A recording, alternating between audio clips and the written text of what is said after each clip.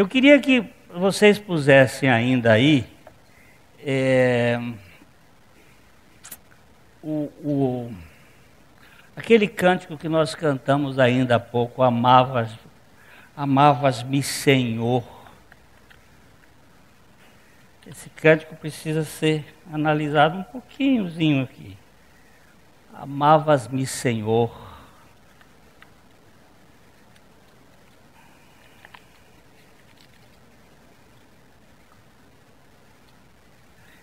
Ele, ele começa dizendo, no comecinho mesmo, no, no comecinho dele, antes, antes do cinco, no um, amavas-me, Senhor, não tendo a luz ainda surgido lá nos céus, ao mando Criador.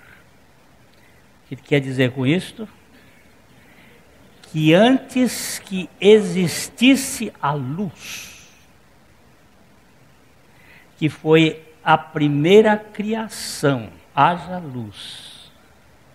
Antes que existisse a luz na restauração do universo caído, ele já me amava. Nem mesmo o sol na aurora esplendorosa e linda, a terra dava força fecundante e infinda. Meu Deus, que amor! Meu Deus, que antigo amor. De quando foi que ele começou a me amar? Antes que houvesse projeto de gente na terra. Você sabe como é que se chama isso aqui? Eleição. Assunto difícil, mas assunto real de Deus. Segunda estrofe desse cântico diz: Amavas-me, Senhor, no tempo em que imolado foi numa cruz sangrenta o meigo Salvador, levando sobre si, sim, quanto? Todo o meu pecado. O Santo de Israel, o teu Cordeiro amado, meu Deus, que amor! Meu Deus, que imenso amor! A terceira estrofe Diz: Amavas-me, Senhor, no tempo em que atraíste o eleito pecador. Ó, o eleito que está lá atrás, nos planos de Deus, e que caiu, e que Deus não vai deixar no brejo. O eleito pecador que o Pai o quis salvar. Embora eu nada faça a merecer justiça, meu ego fez morrer na cruz por tua graça meu Deus, que amor! Meu Deus, que louco amor! A quarta estrofe. Amavas-me, Senhor, na entrada no meu peito, do espírito de luz, o meu consolador. E com tesouros mil do teu amor perfeito, me trouxe a minha fé em que hoje me deleito. Meu Deus, que amor! Meu Deus, és todo amor. Eu vou parar um pouquinho aqui, porque o cantor cristão antigo, de 1930 para trás, era esta letra. Mas depois de 62, eles mudaram esta letra. Na letra moderna diz assim: Amavas-me, Senhor, na entrada amava-me o Senhor na entrada do meu peito, me veio o doce Espírito meu consolador. Nasceu em mim a luz do meu consolador. Nasceu, ele não veio. Nasceu como se fosse um produto que veio. E com promessas mil do teu amor perfeito, me fez surgir a fé em que hoje me deleito. Não, Senhor, não, senhor, a fé não é minha. Ela foi trazida por ele, foi dada por ele. Isso chama sacerdócio de Melquisedeque. Ele trouxe. Me trouxe a minha fé que hoje me deu. Ah, houve até uma discussão se essa concordância estava certa, mas eu fui buscar os arautos do português e diz: está certo, me trouxe a mim. Está certo? Ele me trouxe a mim a fé. Eu não tenho fé. Ele trouxe a mim a fé, em que hoje eu me deleito. A fé é dele, é dom de Deus. Isso Melquisedeque. De, de, de é, Levítico não é assim, não. Levítico você tem que produzir com cheiro de sovaco. Me trouxe a minha fé e que hoje me meu Deus, que amor! Meu Deus, és todo amor. Agora veja a última estrofe.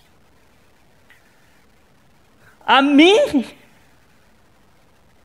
a mim sempre has de amar.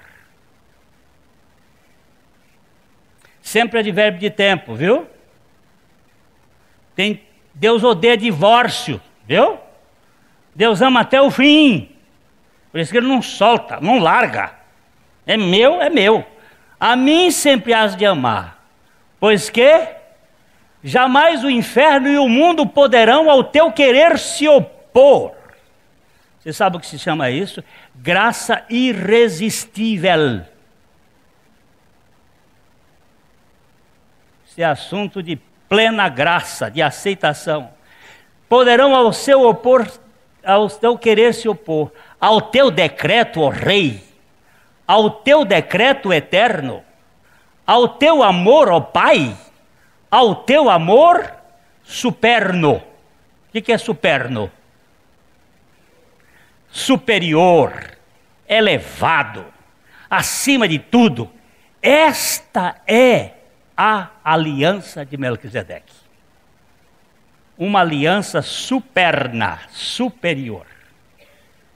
Ao teu amor superno, meu Deus, que amor! És sempre, e sempre, amor.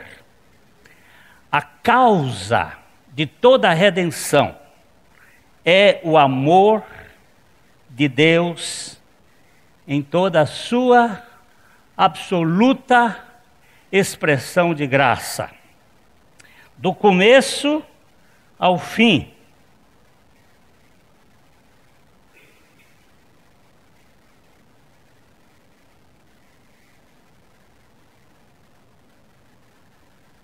Vamos ver se vai sair ali. Nós estamos testando também. É aí.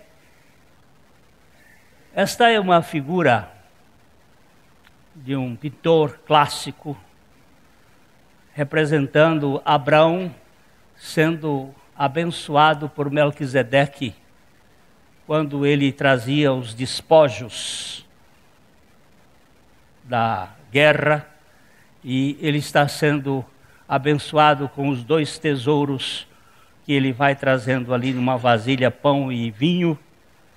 E está falando desse ministério, o sacerdócio, Cristo, o sacerdote segundo a ordem de Melquisedeque. A ordem do rei da paz e da justiça, ou da justiça e da paz. Aquele que é o sacerdote perfeito, o sacerdócio eterno. Não tem tempo de validade.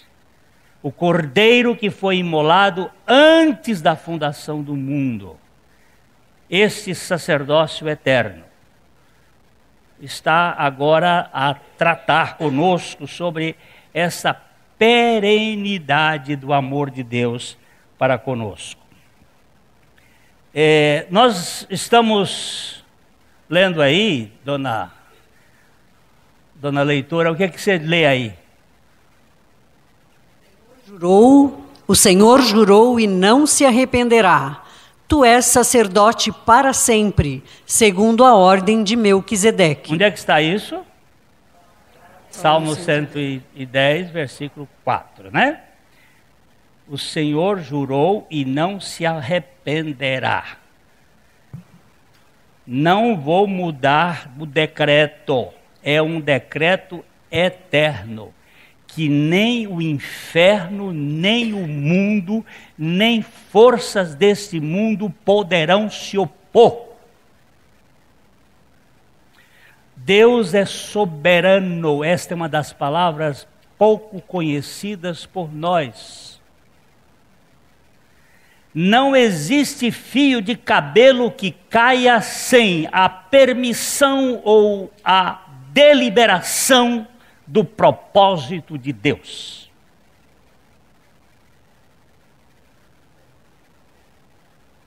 Eu não sou coadjuvante de Deus. Deus é soberano em todas as suas ações. E Ele é um, Jesus Cristo é o sacerdote segundo a ordem de Melquisedeque. Hebreus 7, 11, nós já lemos esse texto e eu gostaria que dona. Ah, Leda, leia. Ó, aqui em cima, o sacerdócio levítico teve fim, mas o de Cristo é eterno. Eu não preciso usar mais turbante, nem quipá, nem solidel, nem qualquer outra coisa depois da suficiência realizada por nosso Senhor e Salvador Jesus Cristo. Este sacerdócio eterno. Vamos ler aqui então, dona Leda, o verso 7 e 11. O sacerdócio levítico teve fim mas o de Cristo é eterno. Se, portanto, a perfeição houvera sido mediante o sacerdócio levítico, pois nele baseado o povo recebeu a lei, que necessidade haveria ainda de que se levantasse outro sacerdote, segundo a ordem de Melquisedeque, e que não fosse contado segundo a ordem de Arão? Qual era a necessidade? Se a lei pudesse aperfeiçoar alguma coisa,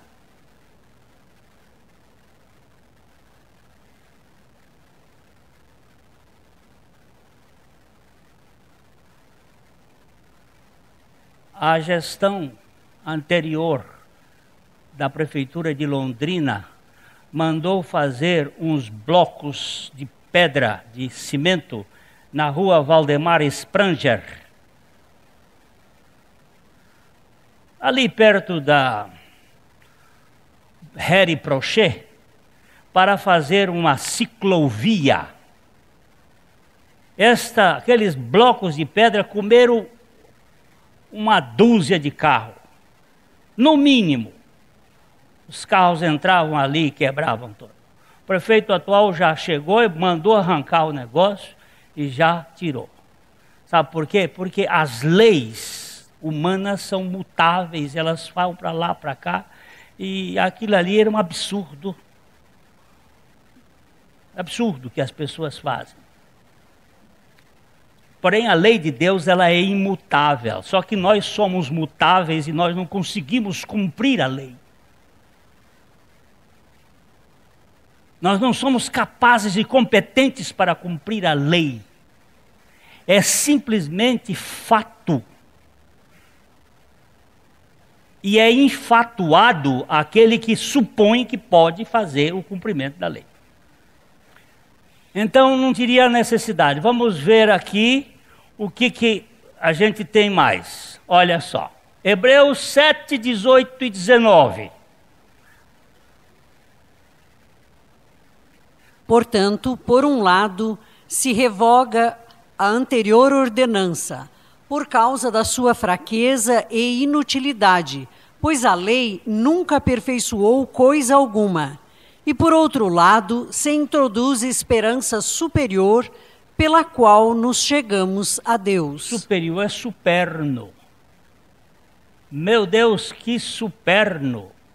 Que superior é o teu amor! Que imutável é o teu amor! Por que, que se revoga aquela lei? Por causa de duas coisinhas: sua fraqueza e sua inutilidade.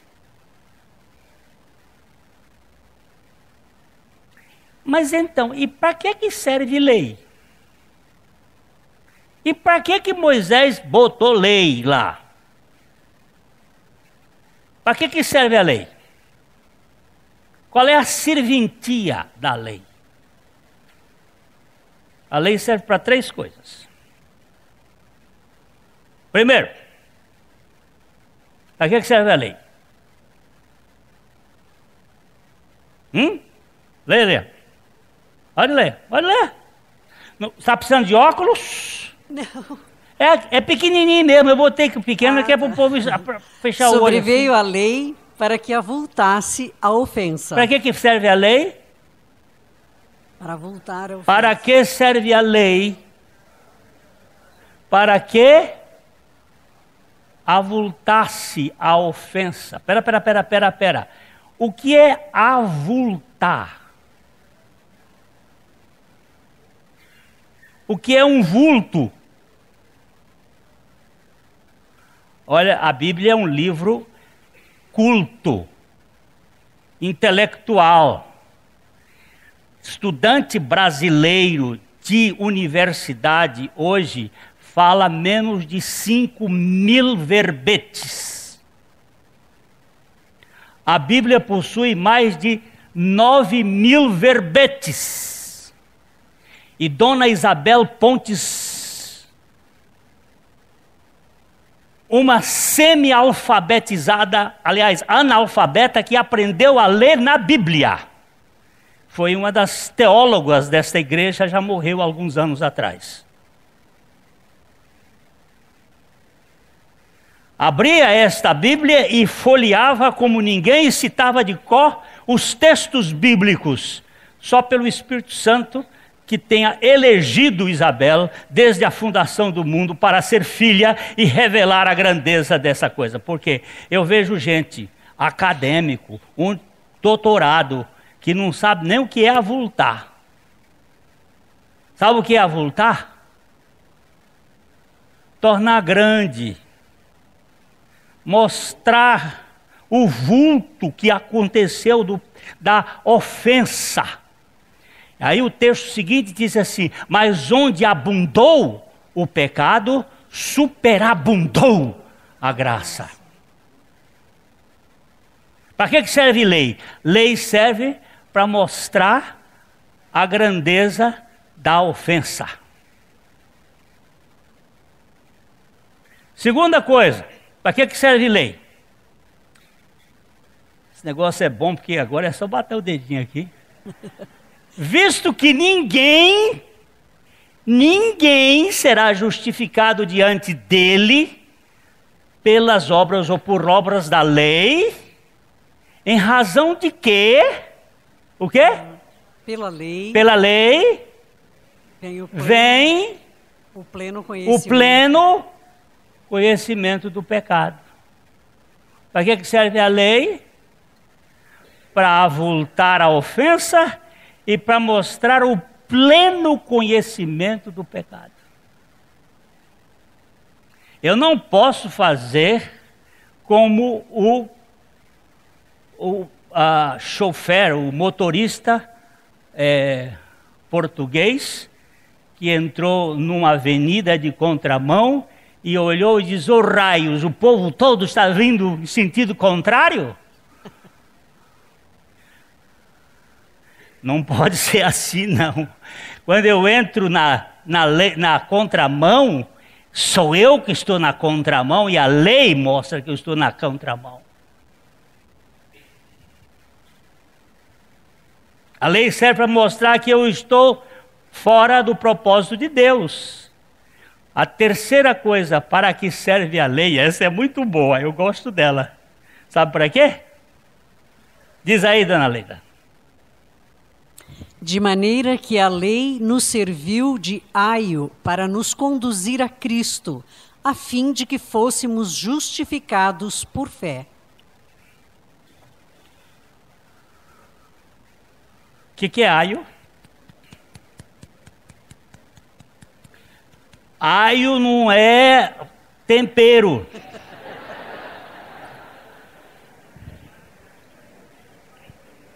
O que, que é aio? Eu disse que nós vamos caminhar devagarzinho para aqui, que eu sei que tem muita dificuldade hoje de ler Bíblia. O que, que é aio? Hein? Que, que é pedagogo? O que é um pedagogo? O que é que é pedó? Pedó, pedó. O que é que é pedófilo? Vamos ver, vamos ver. Pedófilo. Aqueles que amam criança e abusam de criança. Pedó é criança. Pedagogo. Ago é conduzir. Não tem criança aqui. Quem é que é a criança aqui? O Bertinho. Vem cá, Bertinho. Bertinho é criança. Faz de conta. Faz de conta. Ele é criança. Pedagogo é aquele que leva a criança na mão, que conduz. É o aio. Aio.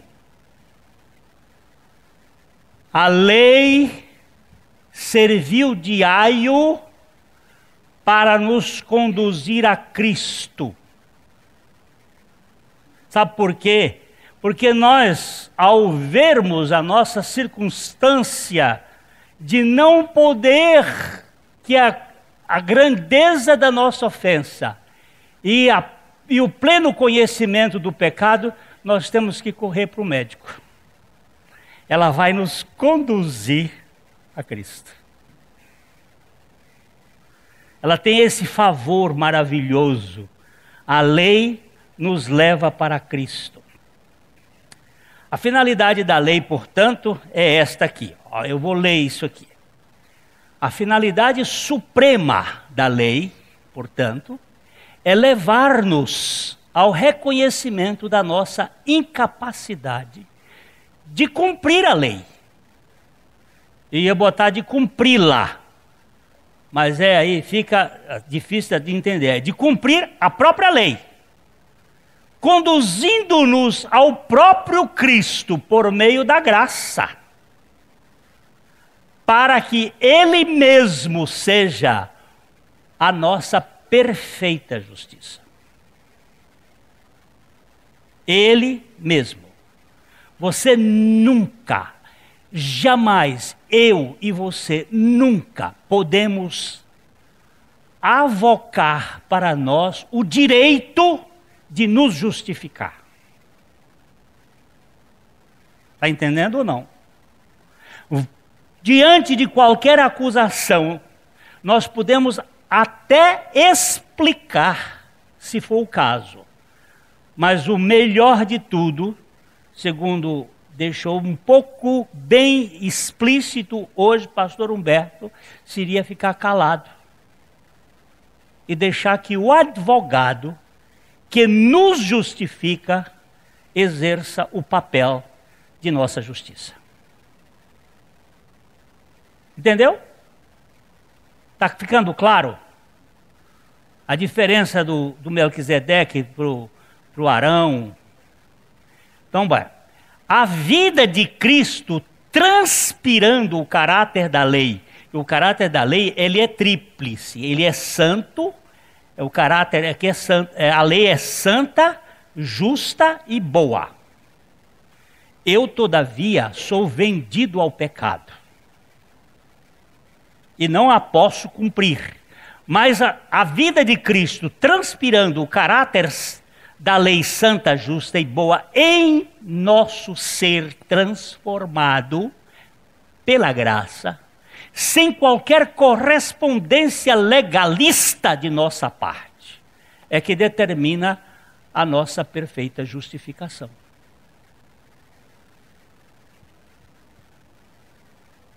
Por isso o Senhor disse assim: quando você for fazer um banquete, não convida o vizinho do lado para o banquete. Não convida o amigo que pode de, de, lhe dar uma volta ao banquete. Quando você for dar um banquete com louça inglesa, com talher de prata, com copo de cristal, Chama mendigo. O que o senhor quer dizer com isso, senhor? Esses detalhes aqui são meus. Talher de prata, coisas são por minha conta. Ele disse, mas ele falou em banquete. Chama mendigo, por quê? Porque ele não pode trocar com você. Isso chama-se graça. Ele vai fazer isso sozinho e você não vai trocar com ele nada, porque você é um andarilho de rua que não tem condições de negociar, trocar com Deus. Por isso, a finalidade da lei, a finalidade suprema, é levar-nos ao reconhecimento de nossa incapacidade de cumpri-la. Está claro? Quando aquele cara batia no peito assim, e dizia, é, não, ele não, aquele não batia no peito, dizia assim, graças de Deus porque eu não sou como os demais homens. Né? Ele batia no peito, né? É, batia ou não batia? É o outro que batia, né? Quem bate no peito é o miserável. Tem misericórdia de mim que sou pecador. Que é a meia máxima culpa que a igreja católica usava muito antigamente, que se desapareceu do, do, do missário moderno. Não tem mais o meia máxima culpa. A minha culpa total é minha mesma, não é do outro. Sou eu o culpado. Agora, eu preciso chegar pela lei a este reconhecimento de que só pela graça. Só pela graça. A finalidade da lei é esta. Então, a lei tem que mudar, vai mudar sacerdócio, tem que mudar a lei. Havendo a mudança do sacerdócio, há também uma mudança de lei, ou uma mudança na incorporação da lei, porque a lei não pode mudar em si, só que vai haver uma mudança radical. Primeiro, Hebreus 7, verso 20, 12, dona, dona Leda. Pois, quando se muda o sacerdócio, necessariamente há também mudança de lei. Você viu necessariamente? Necessariamente diz, diz que não pode existir mudança de sacerdócio sem a mudança da lei. Sou eu, não é você, não. Sou eu. A lei saiu de um código externo para uma transfusão de vida. Domingo passado eu tentei explicar isso um pouquinho assim, falar saiu de uma norma do lado de fora para a normalidade da vida divina do lado de dentro.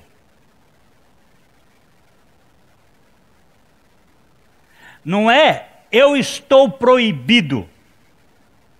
É todas as coisas me são lícitas, mas nem todas convêm. Todas as coisas me são lícitas, mas eu não me deixarei dominar por nenhuma delas.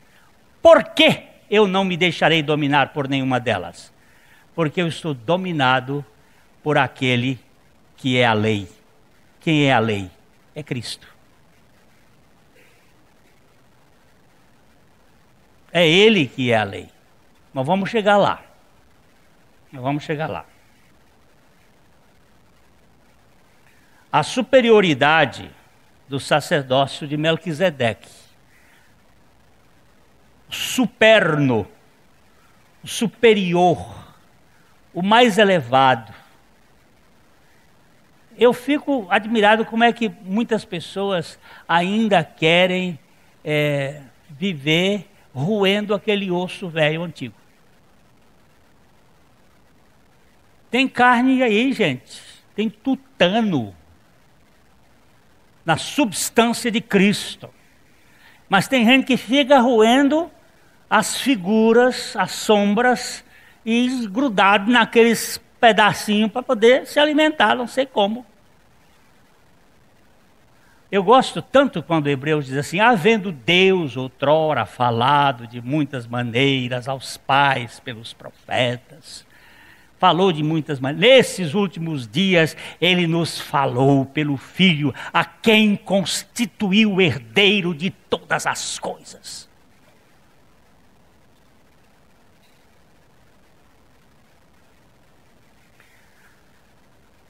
Foi Humberto que contou essa história, não sei se não foi ele, fica por conta dele, se foi outro, vamos lá. O cara morreu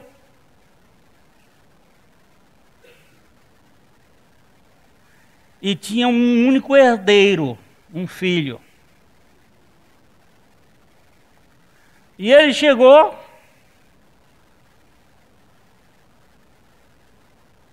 deixou um testamento. Chamou o dia lá, o testamento, o juiz chamou as pessoas, o herdeiro, e tinha um mordomo, que tinha sido mordomo há décadas e décadas daquele ricaço. E lá um dia ele deixou a seguinte no testamento: O meu filho tem direito a escolher uma das minhas propriedades. Todas as outras irão para o mordomo.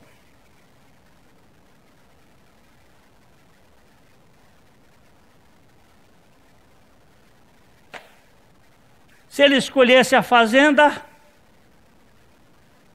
perdia o banco. Se ele escolhesse o banco, perdia os navios. Se ele escolhesse os navios, bem, isso eu estou botando aí, e aí o impasse. Ele tinha que escolher só uma das empresas, o resto era do mordomo. Aí, advogado é sempre muito arguto. O advogado dele vai ao ouvido dele e conversa uma coisa. Disse: Senhor juiz, eu posso escolher. Eu escolho o mordomo. Eu posso escolher. Você entendeu? Se você escolher Cristo, você tem tudo? Por que, que eu vou escolher uma coisa se tudo está nele? Tem muita gente que quer ser curado. Eu acho bom. Tem uns que fazem até regressão para ser curado das gerações passadas. A terceira, quarta geração, tem gente aí especializado na, na teologia da regressão e vai. Tem uns que vão e não voltam mais. Desce por um buraco lá, por um gargalo, não, aí fica aí biruta. Eu encontrei outro dia um que desceu nesse processo, o que viu não foi muito bom, e aí, de lá para cá, ficou de cabeça para baixo, sumiu. Agora, eu vou buscar cura? Não, eu vou buscar o curador.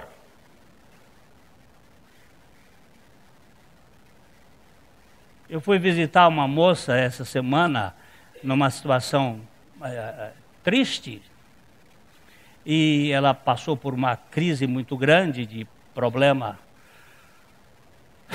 Eu não quero definir as questões aqui para, mas uma crise triste. Mas eu quando eu cheguei lá no, ela tinha escrito no seu diário.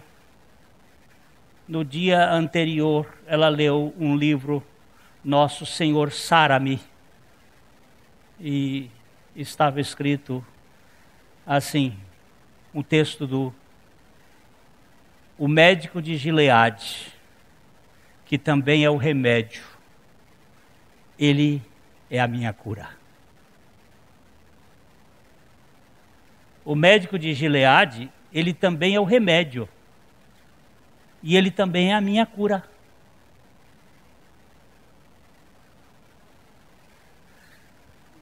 Ele é a terapia.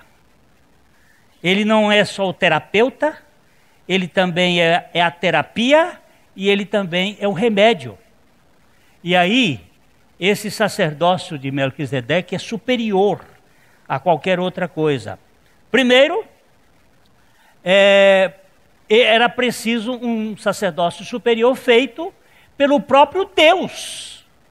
isto é, Cristo, a natureza divina, encarnado em Jesus, a natureza humana, para poder aperfeiçoar-nos de uma vez por todas. Por favor, meu irmãozinho. Esses aperfeiçoamentos paulatinos, eles, eles são dúvidas da suficiência de Cristo. Você já está aperfeiçoado em Cristo Jesus. Agora, se você está mexendo com alma, aí um outro assunto que Deus vai tratar da sua alma, mas o seu interior, de uma vez por todas, através dele mesmo. A perfeição é comunicada a nós somente por meio de Cristo Jesus. Paulo diz assim: esquecendo das coisas que não que eu tenha alcançado a perfeição, mas esquecendo as coisas que para trás ficam, prossigo para diante para o alvo daquele que me alcançou. Se ele já me alcançou, aquele que começou a boa obra em mim, ele vai completar. Perfeito ou não? Ele tem poder ou não tem para fazer o resto? Então, se tem algumas coisas decorrentes, por exemplo, tem gente que vem de família. É, como é que se chama esse negócio? Família desestruturada, não é? Tem uma expressão que usa família disfuncional. Tem gente que vem de família disfuncional, que tem sequelas. Mas um, nós vamos chegar uma hora que a Bíblia diz que Deus tem um caminho, um caminho novo, um caminho que até o louco andando por ele não erra.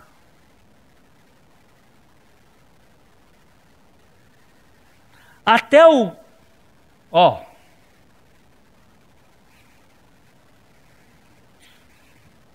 Ontem eu fui visitar meu irmão.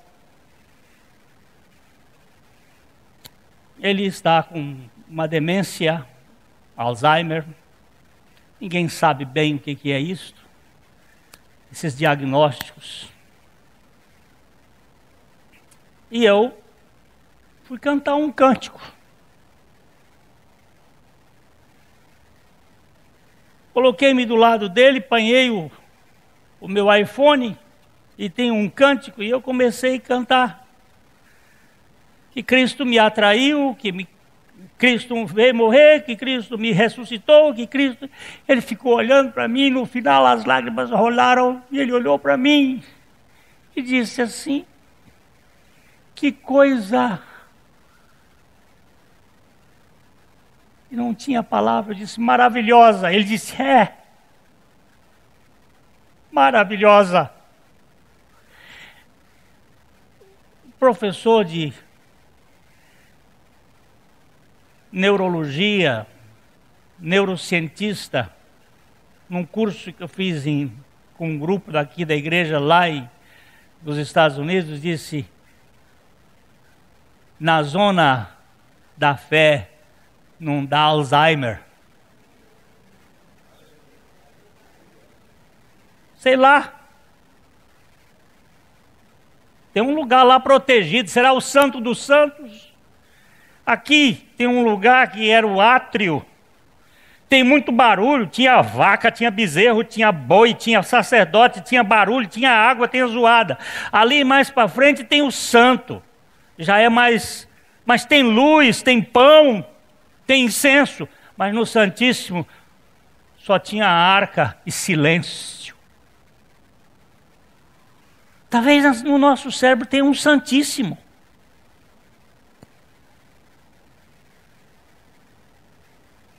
gente, ele entrou uma vez para sempre.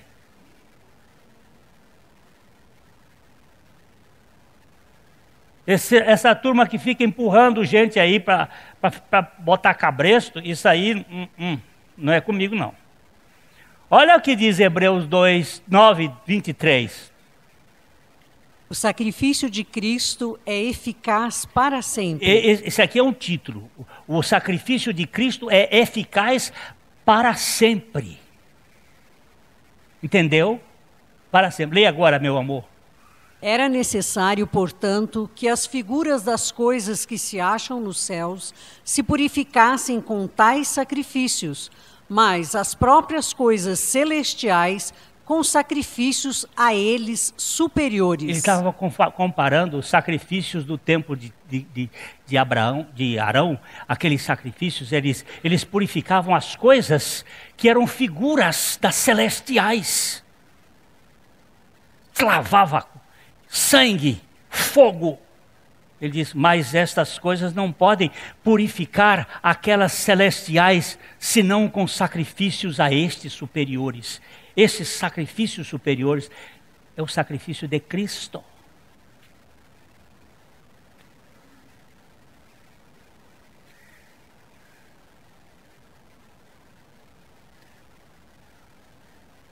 É um só sacrifício e é uma só oferta, viu? Não tem dois sacrifícios nem duas ofertas. Não tem repetição de sacrifício. Primeiro, Jesus. Jesus, porém, tendo oferecido para sempre um único sacrifício pelos pecados, sentou-se à destra de Deus, aguardando daí em diante até que os seus inimigos sejam postos por estrados dos seus pés. Jesus, porém, tendo oferecido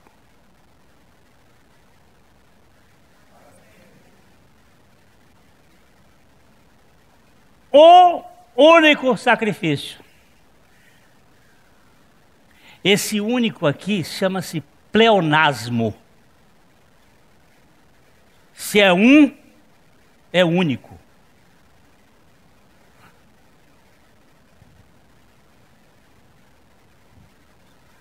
Um único sacrifício. E este sacrifício é imutável, não tem arrependimento, não tem meia volta.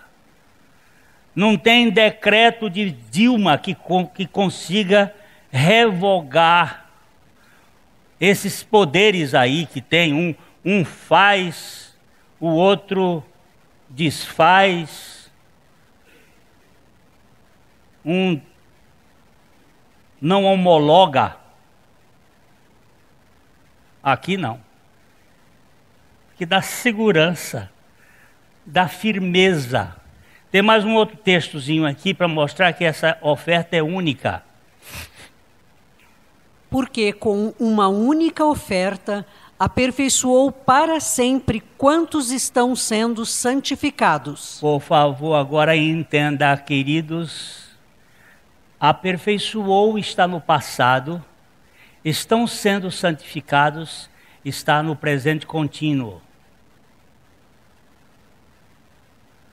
aperfeiçoou com uma única oferta para sempre. Não me mude Bíblia. O que está escrito, está escrito.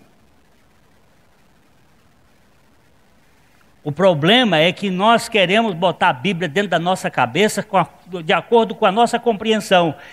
Porque com uma única oferta aperfeiçoou para sempre quantos estão sendo santificados. Santos sendo santificados ainda. Perfeitos, mas sendo aperfeiçoados. Completos, mas sendo completados. E ele que começou a boa obra, a terminará. Dá para segurar o, o, o rojão? Dá para segurar? Ou tem que ir pedir a profetisa para dizer o que, que vai acontecer? Tem uma que está entrando aqui, eu quero dar recado para ela logo aqui. Olha, você é maldita, em nome de Jesus. Porque tudo que já foi feito, foi feito em nome de Jesus de uma vez para sempre. para com sua conversa de trazer esses livros velhos para cá. Eu te dou um carreiraço. Costumam infiltrar e fazer umas correiras. Eu não sei o nome dela ainda não. Já pegou duas mulheres aqui. Teve uma vez que uma pegava as cuecas dos homens e ia benzer.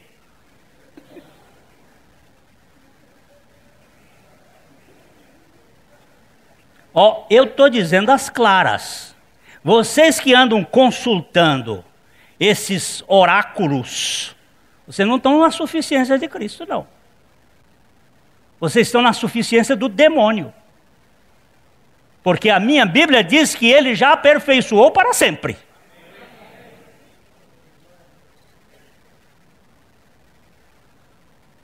Para de brincar com as pessoas, porque isso é coisa séria. Mas eu vou mais aqui.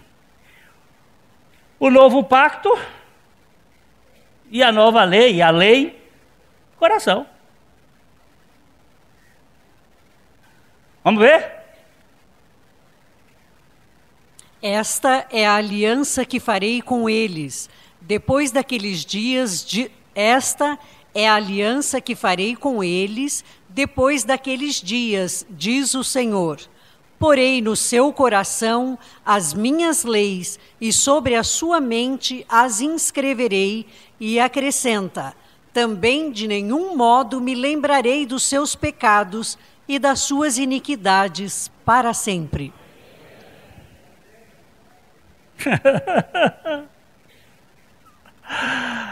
As leis estão internalizadas, estão escritas no nosso interior. Como é que é isto? É por uma transfusão de vida. Aquele que cumpriu a lei, vencer a lei em nós. Vamos, vamos ver mais. Sou eu que toco.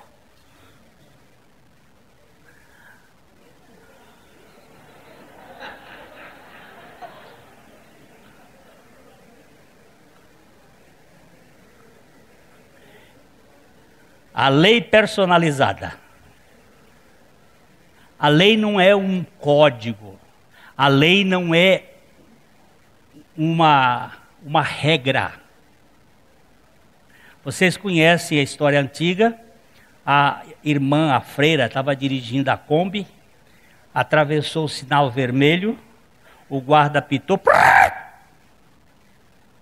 Ele chegou para a irmã e disse: Irmã, a senhora não viu o sinal vermelho? Disse: O sinal vermelho eu vi, seu guarda, só não viu o senhor. O problema é que nós temos uma lei do lado de fora. Essa lei do lado de fora não funciona. Ela tem que ser internalizada, interiorizada. Então a lei externa se encarna.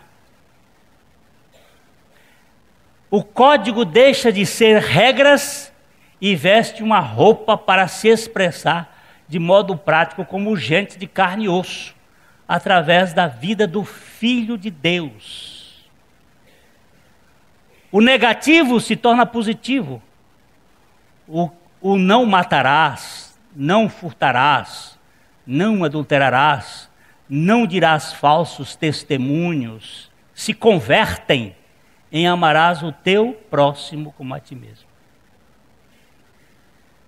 O comportamento correto deixa de ser um mero dever moral para revelar o poder dinâmico da vida indissolúvel de Cristo em nosso ser. Domingo não estava nem para, passando de pegar os dez mandamentos e colocar na hora. Veio você sabe que eu recebi tantos, tantas pessoas é, mandando e-mails dizendo: puxa. Pois é, aqueles mandamentos, eles foram reproduzidos outra vez, porque Moisés quebrou uma vez ao ver o povo se chafurdando na idolatria do bezerro de ouro. Aí Deus mandou fazer de novo, mas eles mesmo assim nunca conseguiram cumprir a lei, porque não é possível ninguém cumprir a lei. A lei vai ser cumprida quando Cristo viver em você e em mim. a vida dele vai se manifestar a lei. A gente perde por desconhecer determinadas coisas. É, depois dos 65 anos de idade, a carteira de, a carteira de motorista só tem validade de três anos. Aí, não é? Aí eu estou vendo, eu tenho que ir para o Piauí agora e estou vendo que em fevereiro meu aniversário vai perder o tempo de validade, eu vou voltar sem a validade, então vou ter que trocar. Fui lá para o Detran daquele de lá. Cheguei lá, tinha uma fila maior do que todo mundo que está aqui. Dobrava a coisa. Eu disse, meu pai, mas. Aí chega um cara, estou conversando ali com na fila, ele diz assim: Não, o senhor, o senhor não precisa isso, não. O senhor já tem mais de 65. O senhor pode ir numa, numa, numa autoescola. O senhor vai na autoescola, o senhor, o senhor já fez a prova? Fiz. Vai na autoescola, eles dão lá os seus dados. Aí eu fiquei pensando, será que está certo? Mas de qualquer modo, fui no expresso despachante, que é o, o Pedro sempre foi. Ô Pedro, como é que faz isso? Ele, não, você pode, mas tem um aqui, ó, na rua Guaporé, que dá, é fácil, é pouca gente. Digo, então eu vou para lá. Cheguei lá, fui entrando, é, e aí a moça olhou e disse, o que o senhor? Disse, eu preciso trocar minha carteira que está Pô, aperta a senha aí. Mas eu não sabia que maior de 65 anos tem uma senha especial. É pessoa especial. E eu sentei lá. Meu número é o 150, estava o 101. 49. E tem uns que vão lá no Detran só para problema de multa. Eu nunca vi tanta multa. Tinha um que tinha mais de 40 multas. E para aquele homem resolver tudo, e, eles são muito delicados, muito. Mas demora, demora. E eu sentado, de repente entra a Sabrina e o Carlão daqui da igreja. A Sabrina entrou e eu vi, eles entraram, sentou lá. Daqui a pouco a Sabrina, Sabrina, eu digo, por que, que você foi, chegou agora e entrou primeiro? É porque eu sou especial, estou grávida. Ah, você é especial, você. E o senhor não foi para a fila por quê? O senhor também é especial. Eu digo por ignorância, minha filha, sabe? Ignorância é isso. É isso que tem feito muita gente morrer no pecado, sabendo que já tem tudo pronto. Eu fiquei lá a manhã inteira. Ainda bem que eu não perdi tempo, porque foi lá que eu escrevi esse, esse estudo. Sentado lá e trabalhando no iPad para poder trazer para cá. Olha, ele vestiu roupa humana. A lei tem carne, a lei tem sangue, a lei tem vigência de vida, não é um código, não é uma moralidade, não é o não pode. É uma vida de ressurreição que traz. Olha só. Porque o fim da lei é Cristo, para a justiça de todo aquele que crê. Humberto, você está com seu iPad aí? Tá? Abre nesse texto aí de Romanos 10, 10, 10 4, e uma palavra fim, bota o dedo para buscar no strong. Estou ensinando vocês também a mexer. Tem muita coisa boa hoje no sistema de estudo bíblico que está disponível através. O que é que diz aí no fim? Não botou reparo, está com a vista ruim? Telos, palavra primária, estabelecer um ponto definitivo, objetivo. Término, limite no qual algo deixa de ser, sempre do fim de um ato ou estado mas não do fim de um período de tempo. Fim, o último, um, em uma sessão, uma série, eterno, aquilo pelo qual é algo terminado, seu fim, res, o fim do, ao qual todas as coisas se relacionam, propósito. E aí vai dando vários significados. Ele é o fim, ele é o que completou a lei. E ele vem viver em você. E você ainda está querendo o quê? Obrigado, Beto.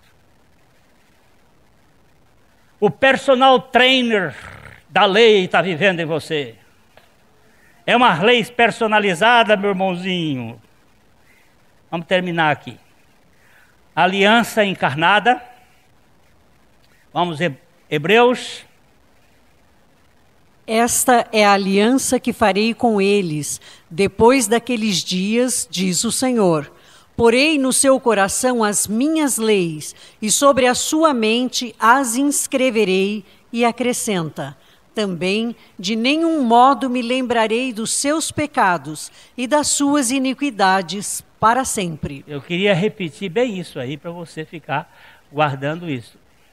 Eu já botei a lei em vocês e também já deletei os seus pecados para sempre. Nós vamos ter um programa de internet dentro de pouco tempo aqui um programa para contato com as pessoas ao vivo. De fora, falando, conversando com elas. É, em Jesus, arroba, ponto com você.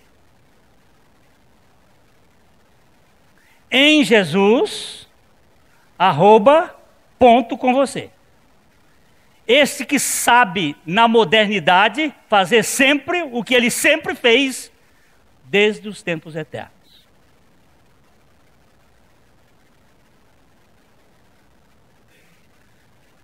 God is in control. Oh, coisinha linda. O nenenzinho.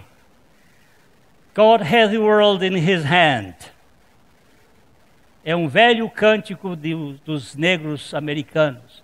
Deus tem o mundo em suas mãos. Você canta? Você lembra dele? Lembra? God has the world in his hand. É uma coisa linda, aquele dos negros americanos.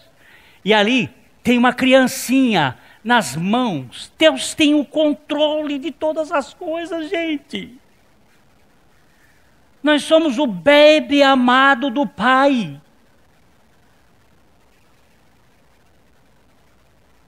Conclusão. Primeiro ponto da conclusão. O sacerdócio de Melquisedeque transfere a lei do exterior do crente para o interior do Filho de Deus.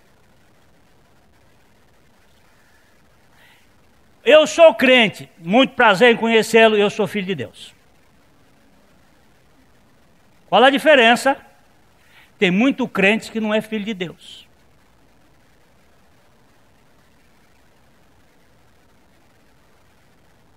É crente. Demônio também crê.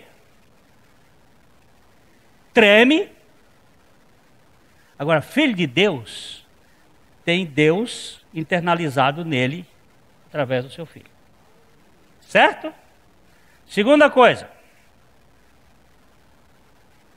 remove a repressão da carne em favor da expressão da vida de Cristo no espírito vivificado. Na educação humana, nós reprimimos a criança. Por isso, o professor Lippmann meu velho professor de psicologia na Universidade do Estado da Guanabara, ainda, Guanabara. Antes de ser Rio de Janeiro. Você está vendo que eu sou velho. O professor Lippmann foi aluno de Freud. Você dizer, eu também já fui aluno do aluno de Freud. Ele dizia com muita propriedade: educar é saber frustrar. Quanto mais bem educada uma pessoa, mais bem frustrada ela é. Você precisa saber frustrar. Se você frustrar bem, bem será. Se você não souber frustrar, monstro será. Então, no Evangelho não tem repressão da carne, tem expressão da vida de Cristo. Não é você não pode jogar futebol. Quantos aqui são do tempo que era pecado nessa igreja jogar futebol? Tem umas mãozinhas que se levantaram lá atrás. Era pecado ir assistir filme. Quando eu cheguei aqui nessa igreja, eu recebi um recado que era para ir no, no, cinema Ouro Verde de tarde. Essa carta eu ainda tinha até pouco tempo atrás, quando eu rasguei um, um documento desse tamanho assim, contando a vida pregressa de tudo quanto era gente dessa igreja. O que tinha de balaio de gato daquela pessoa que contava, e é uma era para eu ser fiscal de Sarney na porta do, do. Não, meu irmão. Não, meu irmão. Para onde eu irei da tua face? Para onde eu fugirei da tua presença? Se eu tomar as asas da ava e for para os confins da terra, tu estás lá. Se eu entrar no motel, tu estás lá. Tu estás em todo lugar, meu Pai. E eu vou ter fora dos teus olhos olhos de graça que podem transformar este monte de rebeldia num filho da tua graça, só o teu poder. Não é repressão, meu irmão. Mais uma. Estou entrando no, no, no na churrascaria Galpão Nelore antiga, do, do, no tempo do João, João está aqui.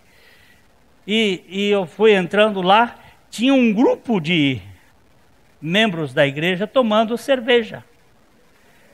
Estava lá tomando a cervejinha dele, comendo. Quando eu entrei, um pegou a garrafa de cerveja e.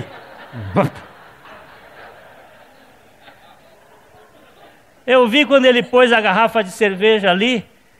E eu entrei, cheguei, olá, como é que vão vocês? Tudo bem? Tererê, papá? Abracei, peguei a garrafa de cerveja que estava assim, peguei o copo.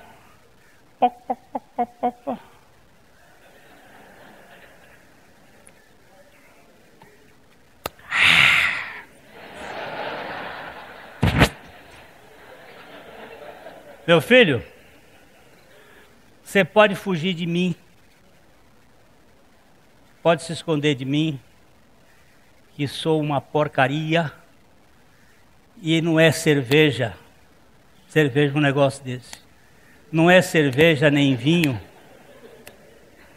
que vai lhe tirar do reino dos céus. É a sua hipocrisia. É a sua mentira. É a sua falsidade. Para vocês terem noção, João Calvino, reformador de primeira classe, recebia como salário pelos seus trabalhos pela igreja de Genebra, sete tonéis de vinho por ano.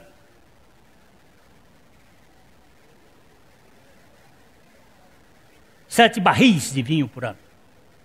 E o senhor Lutero, se você quiser ir à, à Inglaterra, à Alemanha, você vai encontrar tanto na Alemanha quanto na Suíça cerveja João Calvino e cerveja Martinho Lutero, feita pelo Susana Lutero, com a receita até hoje.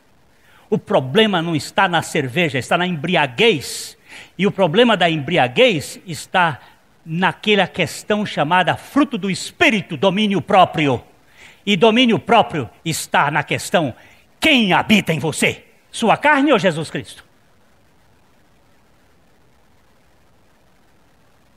Agora, Tá aí o negócio do.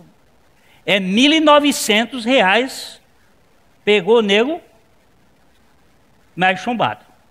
Eu estou querendo formar aqui, hoje lanço essa. Quem quiser se associar comigo para criar uma organização de buscar bebum. Bebeu em festa, nós vamos trabalhar e buscar o cara que bebeu. Vou montar. Quem é que quer fazer comigo? Uma. Ó, já, já achei, já achei, já achei, já achei, já achei, gente. Vamos montar para buscar, porque temos que juntar, cuidar de vida dele. Bebeu um pouco mais, não vai se colocar na posição de dirigir. Mas, tirar dessa coisa, ela não reprova, não é repressão da carne, é expressão da vida de Cristo no seu interior. Tá bom? Terceiro, conclusão, demove o negativo da legalidade, enquanto promove a ética positiva do amor incondicional de Abba. Não é porque a lei manda não fazer, é porque o amor manda fazer.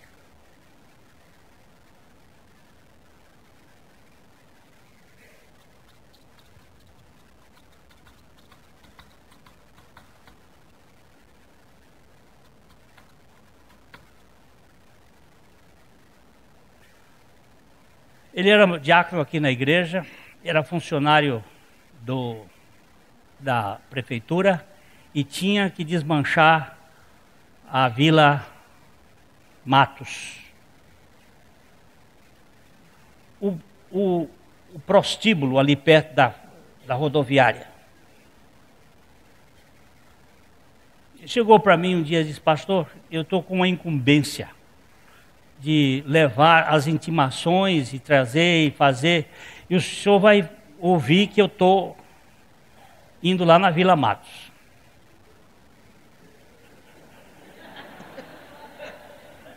Ele meu irmão, o senhor é livre para ir lá dentro ou lá fora. Porque quem controla você é Cristo. E você não tem que viver pelos olhos das pessoas, ainda que eu, tenho que eu tenha que desviar até da aparência do mal. Até da aparência do mal. Mas antes de entrar nesse aspecto, eu tenho que sair do negativo para a ética do positivo da graça de Deus. E finalmente eu termino com esta expressão: o que conta o que conta agora não são os atos corretos em si mesmos, mas as atitudes governadas pelo amor de Deus em nossos corações. Você pode ser ilibado, incorruptível, do ponto de vista comportamental, e ir direitinho para o inferno.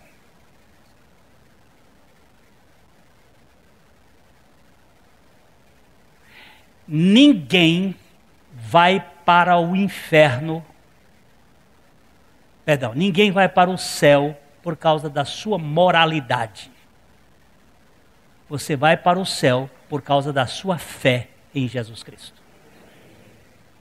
E para acabar, de uma vez por sempre, estou eu numa loja fazendo a cerimônia fúnebre de uma excelência.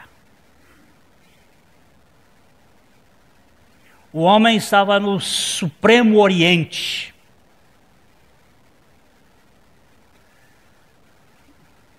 E lá já tinham colocado o cara acima dos páramos celestiais pela honradez da sua vida. Mas a viúva pediu-me para dar uma palavra. E que palavra eu vou dar nesta hora, meu Deus? Aqui está a nata de uma sociedade baseada na meritocracia. E o Senhor desceu a este mundo para buscar os vadios pecadores e os indignos. Que falarei eu aqui nessa hora? Então, quando cheguei à frente para dizer, eu disse: Senhores, se o pré-claro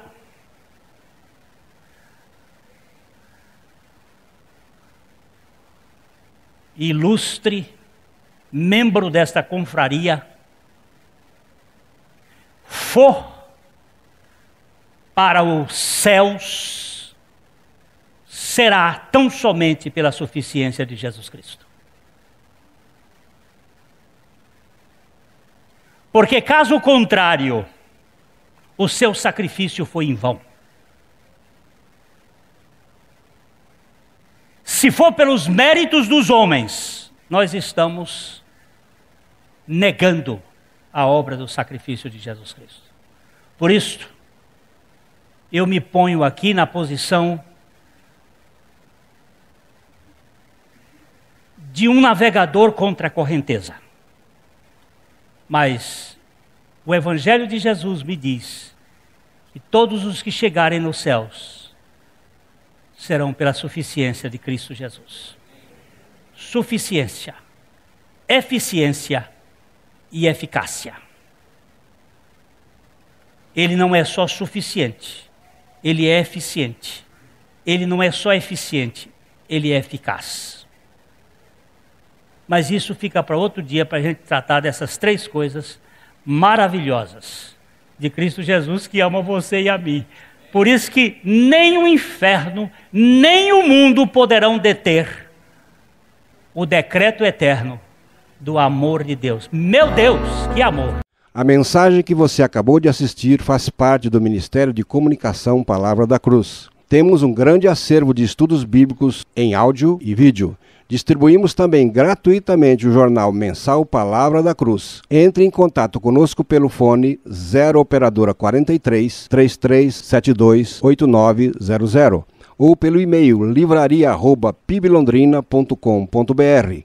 Visite-nos pelo site www.livrariapiblondrina.com.br ou acesse www.piblondrina.com.br. Graça e paz.